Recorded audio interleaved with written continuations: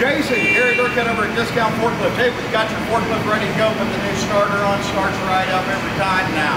You're gonna run it around the shop, get it on the truck out to you. Thanks for your patience, buddy.